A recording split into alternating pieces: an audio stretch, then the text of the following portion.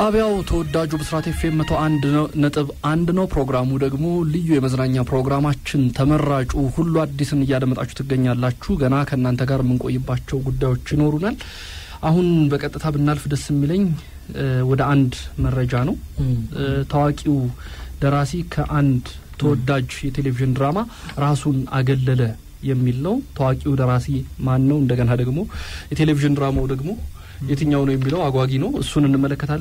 አሁን በመጀመሪያ መስማት የሚኖርብን ታዋቂው ደራሲ ከአንድ ተወዳጅ የቴሌቪዥን ድራማ ራሱን አገለለ የሚለው ነው። ከዛ ቀጥሎ ደግሞ ስንመጣ የምንሰማው ኢትዮጵያዊቷ ሞዴል በዓለም አቀፍ የፋሽን መጽሔት ሽፋን ላይ በመውጣት ታሪክ ሰርታለች እየተባለ ነው። እስቲ ሁለቱን ነገሮች እንስማቸው። ከየትኛው ጀምር? ከየቱ ስለ ደራሲው እናውራ ወይስ ስለ ሞዴሏ ብናወራ የተሻለ ይመስለኛል። ስለ ሞዴሏ ሞዴል ዓለም አቀፍ የፋሽን መጽሔት ላይ እስቲ እንዴት ወጣች? ያው ሊያ ከበደ ነች፣ ምንም መደበቅ ሳያስፈልግ ማለት ነው። ምክንያቱም እሷ ነች ወደ ገደለው እንዲህ አይነት ነገሮችን በመድፈር የምትታወቀው። በነገራችን ላይ Vogue መጽሔት ላይ ነው የወጣችው። Vogue መጽሔት ደግሞ በ ፋሽኑ ዘርፍ እጅግ በጣም ተመራጭ የሆነ ከ23 በላይ በየሀገራቱ version ያለው የፈረንሳይ የዩኬ እየተባለ የሚታተምና በጣም ተወዳጅ የሆነ ፋሽን መጽሔቶች ሲጠቀሱ ቀድሞ የሚጠቀሰው ቮግ ነው ማለት ይቻላል። እንግዲህ ሊያ ከዚህ በፊት ሁለት ሺ ሁለት መጋቢት ወር ላይ እንደ አውሮፓውያን አቆጣጠር ለመጀመሪያ ጊዜ ቮግ ፓሪስ ላይ የፓሪሱ edition ላይ ወጥታ እንደነበር ይታወቃል። ከዛ በኋላ አንዲት ሮዝ ኮርዴሮ የተባለች ሞዴል ከዛ በኋላ ወጣች ሁለት ሺ አስር ላይ ማለት ነው። በእርግጥ እንደነ ናኦሚ ካምቤል፣ ናኦሚ ሌኖር የተባሉ የተለያዩ ጥቁር ሰዎች ወጥተዋል ማለት ነው። ሮዝ ካርዴሮም እነ ናኦሚ ካምቤልም እንግዲህ በጥቁርነታቸው ነው ከዛ በኋላ ወጡ ያልናቸው። ሁለት ሺ አስር እንደ አውሮፓውያን አቆጣጠር ከሆነ በኋላ ግን በቮግ ፓሪስ የትኛውም አይነት ጥቁር ሰው ወጥቶበት አያውቅም ቮግ ላይ ማለት ነው። ስለዚህ ወደ አምስት ዓመታት ያህል ምንም ጥቁር ሳይደፍረው የቆየውን ቮግ ፓሪስ በድጋሚ ሊያ ከበደ ምታደፍረዋለች ማለት ነው። በነገራችን ላይ ጥቁሮችን እንደነዚህ አይነት መጽሔቶች ላይ አለማውጣት ራሱ አንድ እየተተቸ የነበረ ነገር ነው።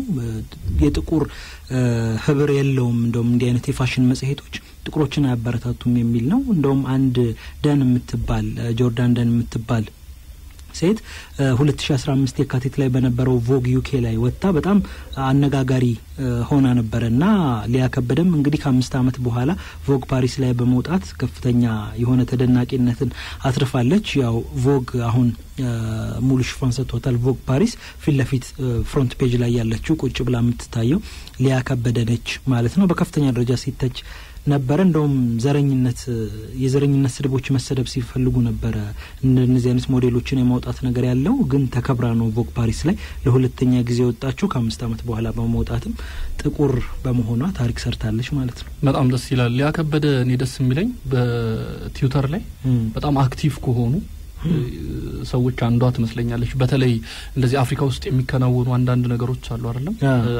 አሁን ለምሳሌ ያክል የደቡብ አፍሪካው ችግር አለ አይደለም። ይሄኔ ጽፋለች ብዬ አስባለሁኝ ካለች ሌሎቹም ነገሮች ላይ በጣም ትሳተፋለች። ቶሎ ቶሎ ትዊት እያደረገች ሀሳቦቿን ትገልጻለች እና ትንሽ እንትን ላይም እንደዚህ ሴትነት ላይ ይሄ ፌሚኒዝም ውስጥ ያለችበት ይመስለኛል እና አንዳንድ ሀሳቦችን በተለያየ አጋጣሚዎች ስትሰነዝር አለሁና ሊያ ከበደ ግን አኩርታናለች። ለማንኛውም በጣም ደስ ይላል እንደዚህ አይነት ነገር። ወደ ቀጣዩ ነገር እንሂድ። ታዋቂው ደራሲ ከአንድ ተወዳጅ የቴሌቪዥን ድራማ ራሱን አግልሏል የሚል ነገር አለ። ስዩም የማን ነው? እንግዲህ ይሄ በጣም በአወዛጋቢ ጽሁፎቹ የምናውቀው ነው። ቀደም ሲል መክፈቻችን ላይ አካባቢ አንስተ ነው እያወራን ነበረ። ድራማው እንግዲህ ዳና ነው። በነገራችን ላይ እንደሚታወቀው ዳናን እንግዲህ እየጻፈች የምትገኘው እስካሁን አዜብ ወርቁ ናት። አዜብ ወርቁ እየጻፈች በምትገኝበት ጊዜ በአሁኑ ወቅት ነገር ግን በቀጣይ ምዕራፍ ሶስቱ ሲጀመር ይጽፋሉ ተብለው የተዘረዘሩ ሁለት ግለሰቦች ነበሩ።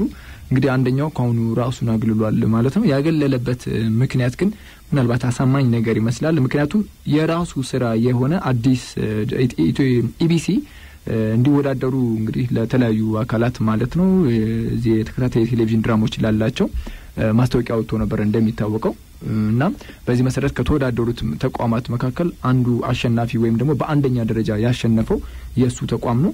በተለይ እሁድ ምሽት ከአራት ሰዓት እስከ አምስት ሰዓት ያለው ሰዓት ይሰጠዋል ተብሎ ይገመታል። ከዚህ አንደኛ ሆኖ ለሚያልፈው ድርጅት ማለት ነው እና በዛ ላይ እንግዲህ አሁን ባለው ሁኔታ በአንደኛ ደረጃ ላይ የሚገኘው እሱ ነው።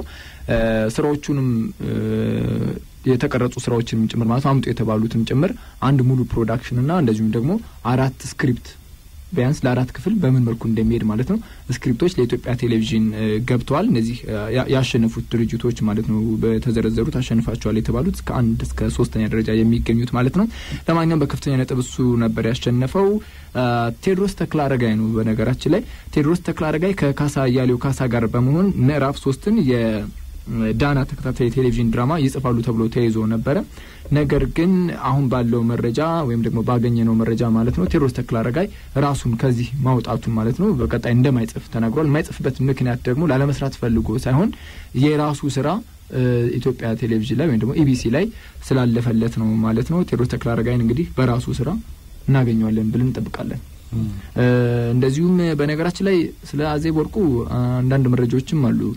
አዜብ እንደምታስታውሱት ከዚህ በፊት ይሄ የአሁኑ ምዕራፍ ሲያልቅ የዳና ተከታታይ ቴሌቪዥን ድራማ ራሷን እንደምታገል አሳውቃ እንደነበር በተለይ ለሁሉ አዲስ ማለት ነው ያገኘናቸው ምንጮች ይጠቁሙ ነበር።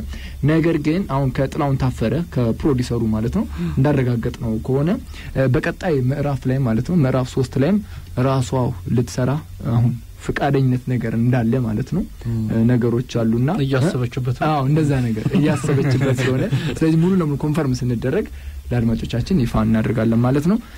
ይሄን ይመስላል።